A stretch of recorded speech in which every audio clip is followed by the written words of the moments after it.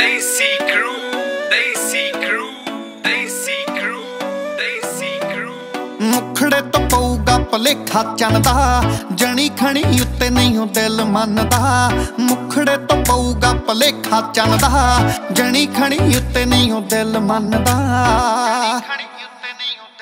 ਹੋ ਪਾਉਗੀ ਖਰੂਦ ਜੋ ਜੱਟੀ ਨੀ ਬਰੂਦ ਜੋ ਮੇਰਾ ਹੀ ਹੋ ਮੇਰਾ ਹੀ ਹੋ ਹੋ ਤੂੰ ਜਿਹੜੀ ਟੋਰ ਨੀ ਸ਼ੋਰ ਨੀ, ਛੜਾ ਜੂ ਬਾਰਾਂ ਬੋਰ ਨੀ, ਉਹ ਸਿਰਾ ਹੋ ਸਿਰਾ ਹੋ, ਜੱਟੀ ਸਿਰਾ ਹੋ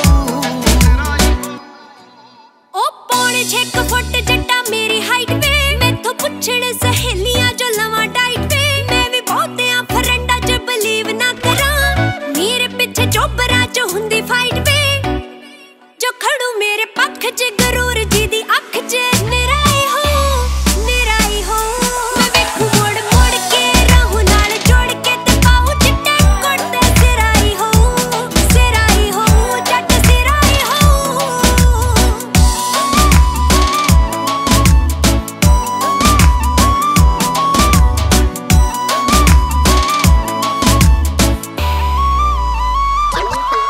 ਹੁਣ ਮਾੜੀ ਮੋਟੀ ਗੱਲ ਨਹੀਂ ਹੋ ਜਾਨਵਾਰ ਦੀ ਹੋ ਗਿਆ ਮੈਂ ਟੱਲੀ ਫੜੂ ਚਾਬੀ ਕਰਦੀ ਲਿਮਟ ਨਹੀਂ ਕਰਦੀ ਕ੍ਰੋਸ ਕਦੇ ਉਹ। ਫੈਮਿਲੀ ਜੁਆਇੰਟ ਹੋਊ ਮੇਰੀ ਨਾਰ ਦੀ ਉਹ ਕਹੀ ਨਹੀਂ ਮੈਂ ਮੋੜਦਾ, ਦਿਲ ਨਹੀਂ ਮੈਂ ਤੋੜਦਾ। ਪਿੱਕਾ ਲੈ ਦੂੰ ਫੋੜਦਾ ਸਿਰਾਈ ਹੋਊ ਸਿਰਾਈ ਹੋਊ ਬਗੋਨਿਆਂ ਨੇ ਆਊਗੀ ਦੇਖੀ ਕਿਵੇਂ ਛਾਊਗੀ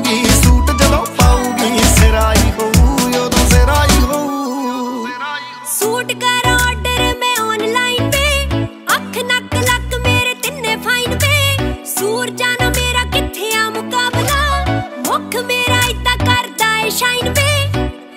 ਉਹ ਪੈਣਾ ਜਦੋਂ ਹੱਸ ਮੈਂ।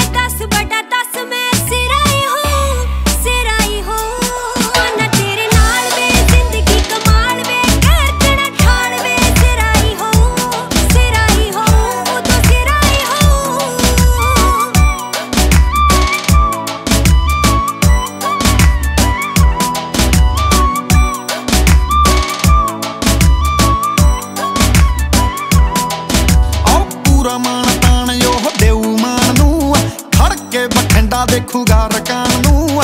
ਜਿਹੜੇ ਮੇਰੇ ਯਾਰ ਮੈਨੂੰ ਰਹਿਣ ਛੇੜਦੇ, ਦੇਣਗੇ ਵਧਾਈਆਂ ਗੱਭਰੂ ਜ਼ਬਾਨ ਨੂੰ।